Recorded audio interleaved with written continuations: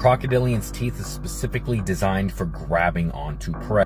They're not serrated, they're literally just cones, and they have the jaw crushing power that when they grab onto something, those cones just grip right into whatever it is and don't let go.